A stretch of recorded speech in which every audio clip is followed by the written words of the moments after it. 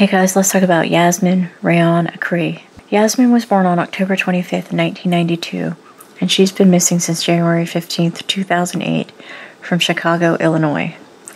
At the time of her disappearance, she was 15 years old, 5 feet 1 and 125 pounds. She's an African American female with sandy brown hair and brown eyes. She wears eyeglasses and cannot see well without them, but the glasses were left behind. Yasmin was last seen at her family's Chicago, Illinois home on January 15, 2008. That day, she went to the North Lawndale YMCA where she was involved in sports and other activities. After she came home, she did a little laundry and went to bed. She was gone by the next morning.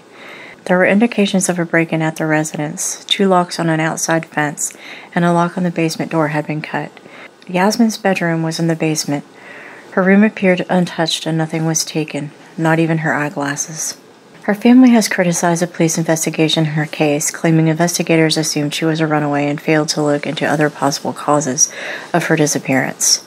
Authorities admitted they made serious errors at the onset of the investigation by not immediately dusting for fingerprints and not taking the broken lock from the basement door. Yasmin was a freshman at Austin Polytech Academy at the time of her disappearance and was about to start a new job. She has no history of runaway behavior. However, Yasmin, who was born in Kentucky, had a troubled past. Her mother, who is now deceased, was a drug addict, and Yasmin and her older brother were removed from her home when they were toddlers. Yasmin spent several years in the Kentucky foster care system where she was essayed and developed severe emotional and behavioral problems. In 2001, Yasmin and her brother went to live with Rosemarie Starnes, their aunt by marriage, and she adopted them in 2006. Starnes stated she loved Yasmin but had trouble dealing with her behavior problems and occasionally disciplined her by whipping her with a belt or locking her in the basement. In 2007, when Yasmin's brother was 16 years old, Starnes asked him, asked him to leave the home. Yasmin was the only child living at the residence at the time of her disappearance. She had been an excellent student in middle school, but when she started high school, she got poor grades. Jimmy Terrell Smith and his father lived in the second floor apartment in Yasmin's building at the time of her disappearance. His father was friends with Starnes.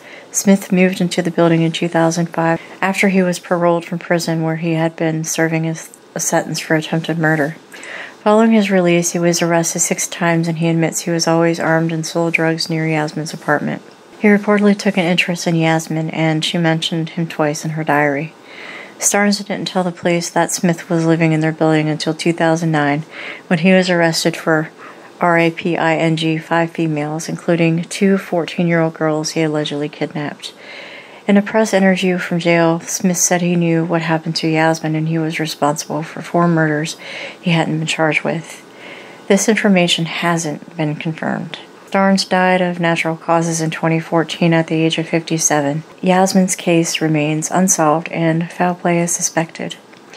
If you have any information, please call the Chicago Police Department at 312 746 8365.